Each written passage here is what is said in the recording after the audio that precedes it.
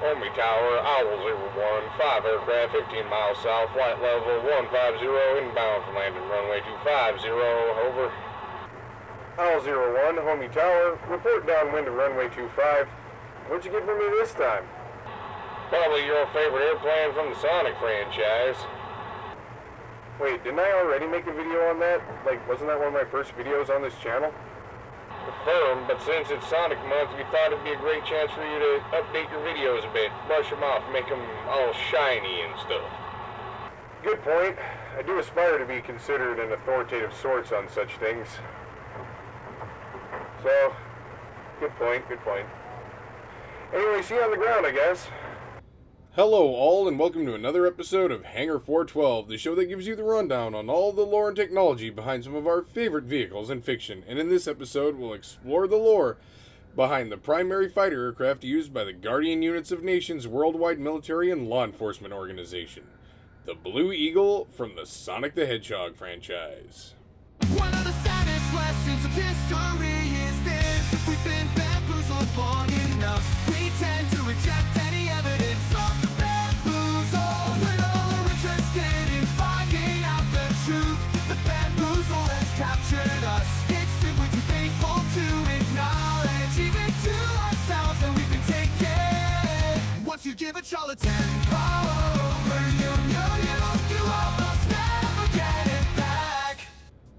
The Blue Eagle is a carrier capable ground attack and multi role fighter developed and produced in mass by the Guardian Units of Nations, or GUN for short, upon request from the Office of the President of the United Federation to combat Dr. Ivo Eggman Robotnik's private mechanized military. Based on documents that Dr. Ivo Robotnik hacked out of computers located at Gun's research facility in the desert, it appears GUN used Dr. Gerald Robotnik's research from 50 years ago in the aircraft's design, presumably around things like using the Chaos Drive as a potential power source, propulsion source, and maybe using its mystical powers to give the aircraft its distinctive VTOL capabilities. As it appears, there are no conventional thrusters to give it those VTOL capabilities, like you would see on something like the AV 8 Harrier or the F 35, for example. It's also interesting to note that the Blue Eagle doesn't feature traditional rolling landing gear. Rather, the fighter uses feet in place of traditional wheels. This means the fighter can't actually roll across the ground to take off like a conventional aircraft. It can only take off vertically, like the X Wing from Star Wars.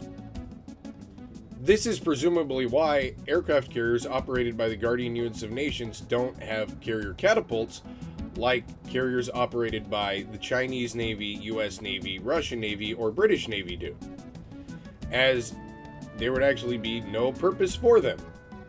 That's because if you were to hook up this aircraft to a traditional aircraft carrier catapult, because it has no wheels, it would just either destroy the landing gear and or destroy the surface of the flight deck along with the catapult most likely. So it actually makes sense that they would just have a small little runway or platform for these VTOL only capable aircraft to take off from. Just point the aircraft carrier flight deck into the oncoming wind and allow that to assist in the aircraft's vertical takeoff and landing capabilities. I actually had this whole thing in the script trying to figure out what these yellow things were because I always thought they were pushback tugs. They even have the little notch in the back to imply that. But after I extracted them from the game, I realized that the plane doesn't quite fit properly. And A, those are completely automated, and I'm not quite familiar if there's completely automatic pushback tugs in wide use today. I don't think so. Most of them are operated by somebody. But that said, it occurred to me well, since they can't push and pull these aircraft across the flight deck, what could these things be for? And maybe they're supposed to be weapon carts? That's my best guess. And on the topic of weapons, and the fighter can be equipped with an unknown number of unguided bombs. Though in game it's shown to be one, maybe two, but that cannot possibly be right. That would be extremely inefficient and wasteful.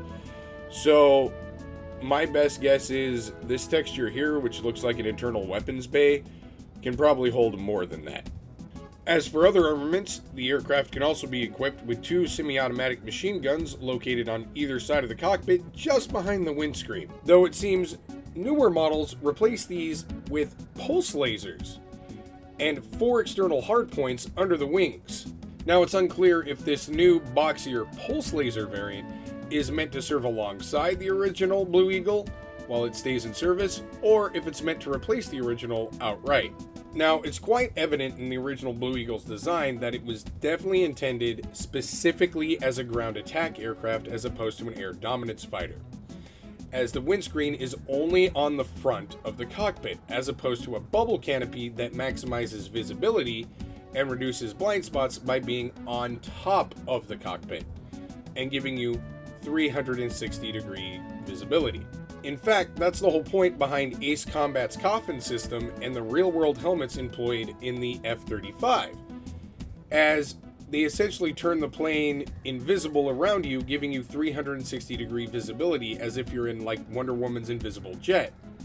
That way, you're less likely to lose track of your adversary in a dogfight. And it seems that both versions of the Blue Eagle share this mainly forward facing windscreen, indicating they were both designed primarily as ground attack aircraft, where you're not going to be really concerned with getting in a dogfight and having the enemy behind you, per se. I mean, these are still things to worry about, but you're not going to be necessarily specifically focused on getting into a dogfight. Something else I've noticed is both versions of the Blue Eagle seem to have slats in front of the turbines recessed in the forward air intakes. These would seemingly fulfill the dual purpose of regulating the speed and amount of air incoming into the engines to optimize performance at a wide range of speeds and altitudes, while also minimizing radar returns reflected off of the engine turbines themselves. A similar method of shielding the turbines from radar was employed on the F 160 Raiju in GTA and the real world F 117A Nighthawk using a mesh screen in front of the air intakes. Now, I know they had to do this due to hardware limitations, but if you look at the original Blue Eagle from Sonic Adventure 2, it is very angular, which is a uh, common trope of early stealth designs to help scatter radar waves. So I like to imagine with the knowledge that it has those intake slats that the craft might have some low level stealth capabilities. Just a fun thought. So, in my last video, I mentioned that my whole life I had it in my head for some reason that the Sonic Adventure 2 original Blue Eagle was based off of the SU 33 or SU 27, not the SU 34, which I know that sounds really nerdy and they don't sound that different, but they are incredibly different. Look them up. I know this is very nerdy, but hear me out. The Blue Eagle just never registered as what it was meant to be for some reason in my head because I guess mainly the SU-34 fullback has more of a pronounced like hump or neck, really making it look more like a duck or goose, where the Blue Eagle is in every way an SU-34 just sleeker. It doesn't have as much of a pronounced hump. And so I guess for that reason in my mind I always just had it just locked away in my head canon that it was supposed to be like an SU-33 or something. But no, it is definitely supposed to be an SU-34 with vertical takeoff and landing capabilities. So there's that. And on top of that, the new one, apparently at least the one from Sonic Generations, looks a lot like I'd say the F-15 so the Blue Eagle title actually fits quite well considering the F 15's name is the Eagle. Well, with all that rambling out of the way, prepare for just a little bit more. I hope you all enjoyed this quick little breakdown into this obscure little aircraft from the Sonic franchise as much as I did making it. And until next time, don't forget to like, share, comment, and homing attack into that subscribe and bell icon for more obscure lore from across the multiverse, just like this. children's and grandchildren's time with the United States as a service and information economy. Nearly all the manufacturing industries have slipped away to other countries. When awesome technological powers are in the hands of a very few. And no one representing the public interest can even grasp the issues. When the people have lost the ability to set their own agendas or knowledge to be questioned those in authority. When clutching our crystals and nervously consulting our horoscopes. Our critical faculties in decline Unable to distinguish between what feels good and what's true We slide, almost without noticing Back into superstition and darkness The dominant greedy influential media The 30 second sound bites Countdown to 10 cents sounds less most common denominator of programming Credulous persons on pseudoscience and superstition But especially a connoisseur of ignorance